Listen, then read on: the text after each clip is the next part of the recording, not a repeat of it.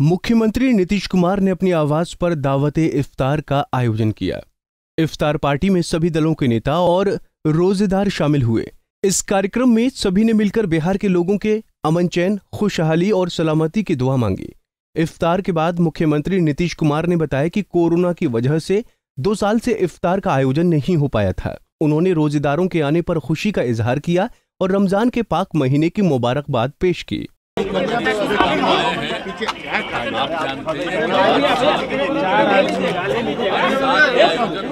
उन्नीस तक हुआ था लेकिन दो बार जो कोरोना के कारण था जो नहीं हो रहा था?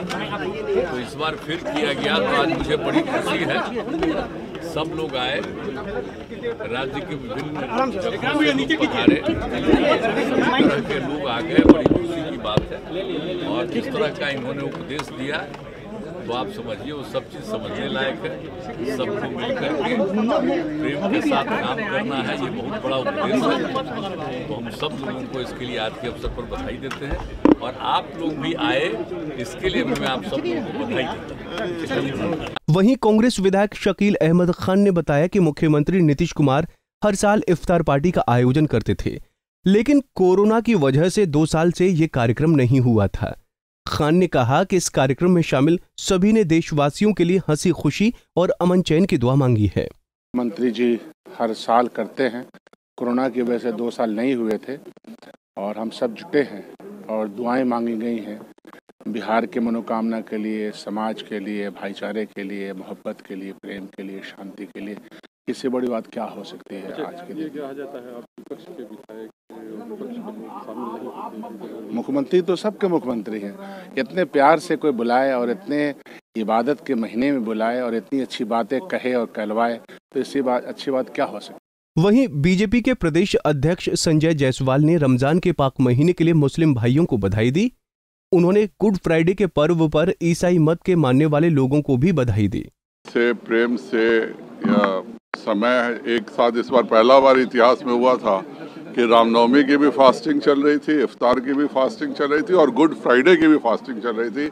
आज ईसाई बंधुओं का त्यौहार है, उनको भी शुभकामनाएँ। सभी हमारे मुस्लिम साथियों को इस महीने के लिए, रमज़ान महीने का बहुत बहुत मुबारक और सब अच्छे से, प्रेम से सब एक साथ रहें, यही ऊपर से कामना करता हूँ।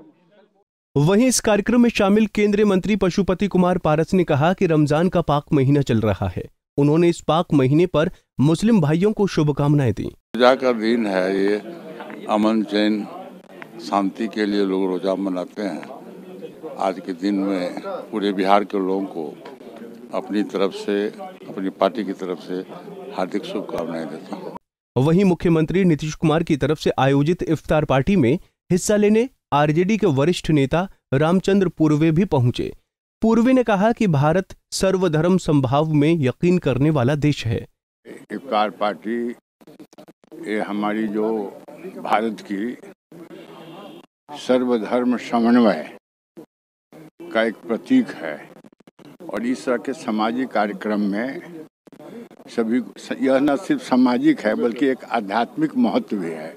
इसलिए इस तरह के कार्यक्रम में सम्मिलित होना सभी के लिए आवश्यक है इसीलिए मैं बिहार की परंपरा सांप्रदायिक सौहार्द और भाईचारे की रही है। मुख्यमंत्री नीतीश कुमार की तरफ़ से आयोजित इफ्तार पार्टी से भाईचारे की डोर और भी मज़बूत हुई है। पंजाब केसरी टीवी के लिए पटना से अभिषेक की रिपोर्ट। हमसे जुड़े रहने के लिए हमारे YouTube चैनल को सब्सक्राइब करें और नई वीडियो की नोटिफिकेशन के लिए बेल आइकॉन को दबाएँ। अगर आप ये वीडियो Facebook पर देख रहे हैं तो लाइक ज़रूर करें और ज़्यादा से ज़्यादा शेयर करें। धन्यवाद।